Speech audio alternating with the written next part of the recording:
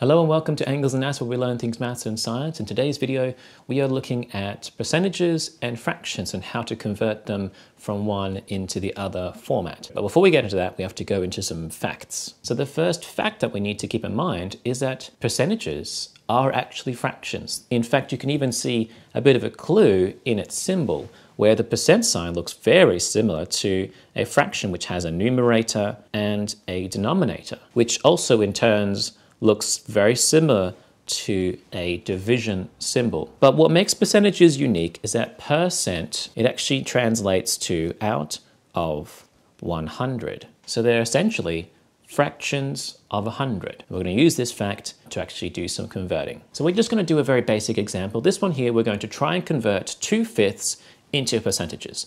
Now, the trick that we can use here is that if the denominator, in this case 5, is easily multiplied up to 100, then let's use that trick. We're going to use the idea of equivalent fractions, where if I scale the bottom and the top of the fraction by the same amount, it's still the same identity, still the same value as before. For example, 1 over 2 is exactly the same answer as 2 out of 4.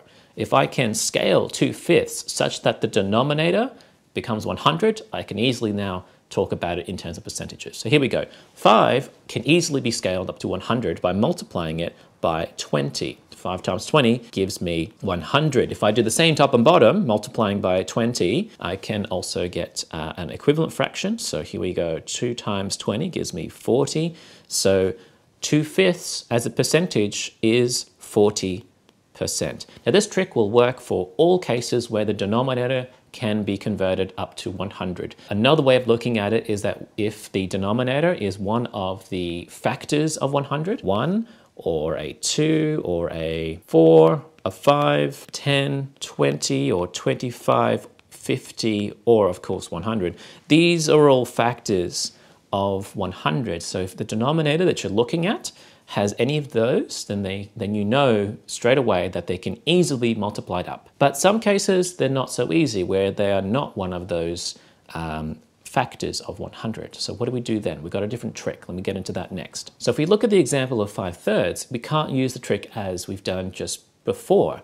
And that's because the denominator, in this case 3, there's nothing I can multiply 3 with to turn that into 100. I need to use something else. So what we're going to try here is that if I multiply this by 100 over 1, I can then convert this and then I'm going to work from there. So this is the trick. You multiply your fraction with 100 over 1. I like to attach the percentage sign now, so I'm just going to stick it there. And uh, now it's just a process of multiplying the numerators. So 5 times 100 gives me 500 on top, and 3 times 1 on the bottom produces 3. And I'm going to carry across that percentage symbol. From here, to get to my answer, I need to convert this fraction into a decimal. And I'm going to do that by using the fact that a fraction is also a division symbol. So it's effectively 500 divided by 3. If I can do that division, I'm going to do it by hand, but if I can do that division, I can convert this into a decimal answer of percent, which is the usual kind that we see percentages presented to us.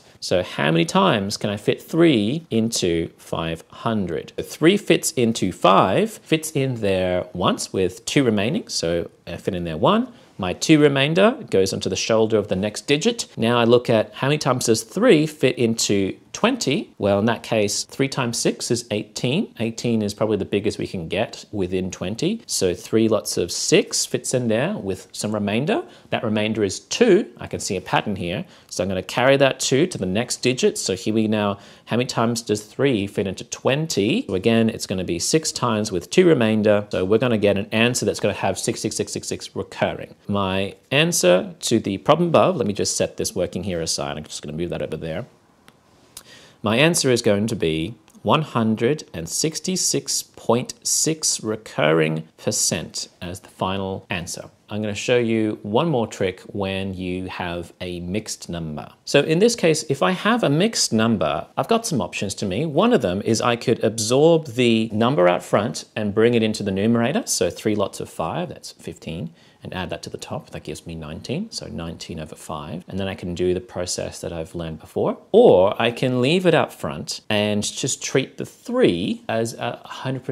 So that'll be 300% because 3 wholes plus that 4 fifths. Now for this trick to work, I might do the equivalent fraction strategy because the denominator here is easily multiplied up to 100. So if I times that by 20, times the top by 20, I will get 80 this time out of 100. So I've effectively got 300% plus 80%. So I'm going to have a total 380% is the final answer. Let's look at another example here. I've got 2 and 4 thirds. I've deliberately made it so that I can't use the equivalent fraction method. Here, what I can do, again, treat the number 2. I can treat that as 200% because it's two wholes, 200% plus my 4 thirds. And for my 4 thirds, because it doesn't have a denominator that can be converted, I'm going to do the 100 over 1 trick, 200% plus 400 over 3. And I'm going to do short division. So how many times does 3 fit into 400? So 3 fits into 4, it fits in there once with one remainder. So I now carry that across. So 3 fits into 10. 3 times 3 is 9. So it fits in there 3 times with again one remainder. So I'm starting to see the pattern once more. It appears that the answer is going to be 133.3 recurring percentage. My next row of working here is going to be 200% plus 133.3 recurring percent, which gives a total of 333.3 recurring percent. All right, so now we're going to move on to trying to convert the other way, to convert 45% uh, into a fraction. It's actually very simple. If we use the definition of percentage, so if I say 45%, I'm saying 45 out of 100. I'm just going to use that. And technically, I have converted it into a fraction. But I'm going to give you a piece of advice here is that almost always it is preferable